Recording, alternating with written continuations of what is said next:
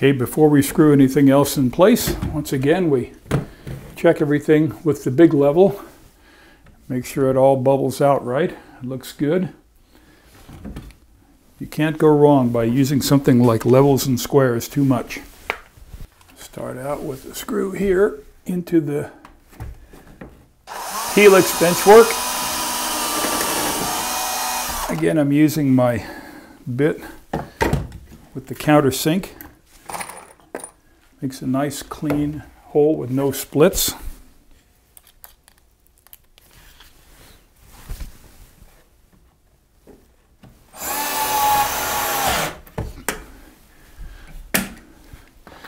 That's done. We'll put a screw in here through the block we put in a bit earlier.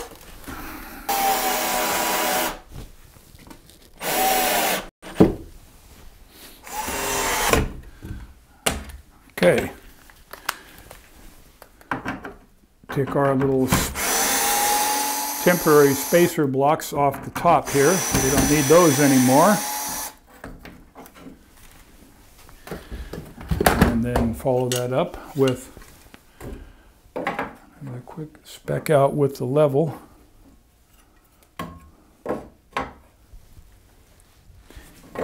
Looks pretty good to me. I'm going to mount the screws in back here fairly close to the cross pieces to help add a little extra strength. I'm using one and five eighths inch uh, sheetrock screws here. Need to go through the three quarter inch lumber, half inch sheetrock into the wood, the, the uh, plywood behind. I'm going to set the level here, but I've got a little 1 8 inch balsa shim, which I'm going to set against under the back side of the level.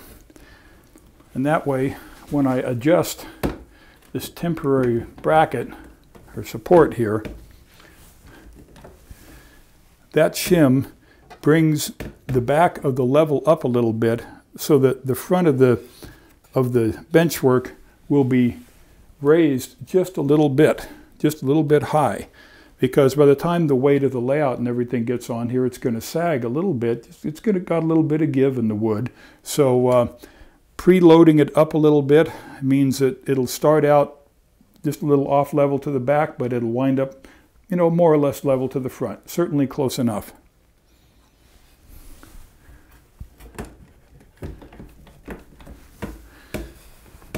Check the bubble again the bench suitably leveled and all. It's a matter of simply installing some of these brackets. Just push it flush against the wall here. Clamp it in place. And we're ready to uh, go to town, as they say. Probably put about three screws in the, uh, in the, the block on the back side here.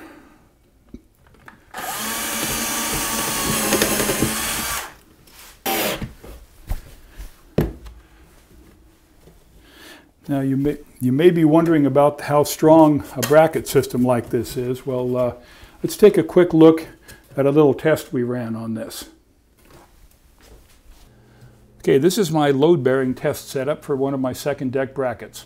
The bracket is screwed to this 2x3, four screws, pretty much like we use on the layout.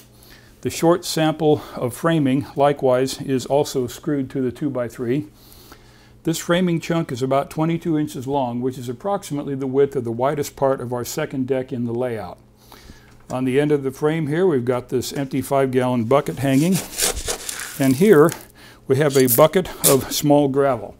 And the objective here is we're going to take the small gravel, dump it into the empty bucket until something breaks. And then we're going to weigh the bucket and we can pretty much determine what each one of these typical second deck bracket setups will be able to support in pounds. Now I know that the big bucket, full bucket of gravel here weighs about 55 pounds, so we'll see how much of that goes into here before something gives way. I've never tried this sort of thing before. We'll see what happens.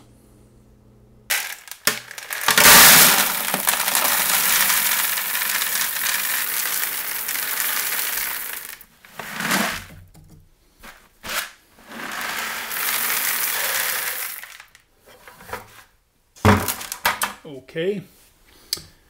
There's uh, 55 pounds of gravel on that so far.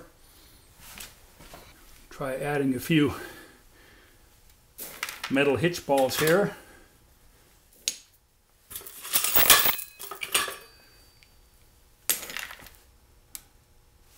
Something's creaking.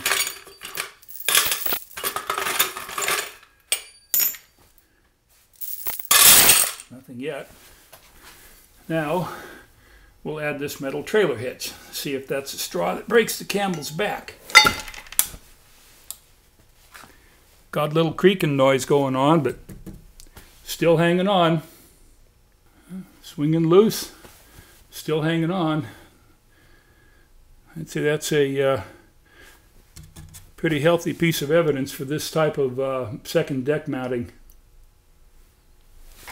Right, now we're going to do the old test here. And depending on the accuracy of the scale, of course, about 73 pounds.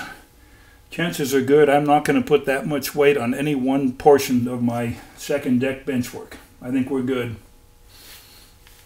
Well, like that test showed, I don't think we have an awful lot to worry about as far as strength is concerned here.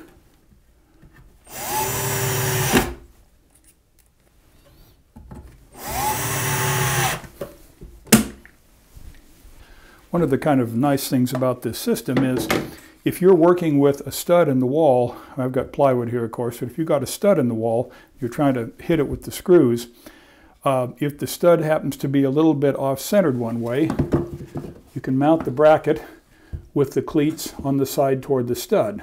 Or if it's the other way, you can use a cleat that has a bracket that has the, stud, the cleats on the other side. So you can you got you got a lot of flexibility there. If it's if it's right down the middle, you just put it right down the center then. That way you can make it fit just about any circumstance you need to. Well, we got, got the bench work pretty well mounted here. Brackets screwed to the wall. Everything looks pretty solid.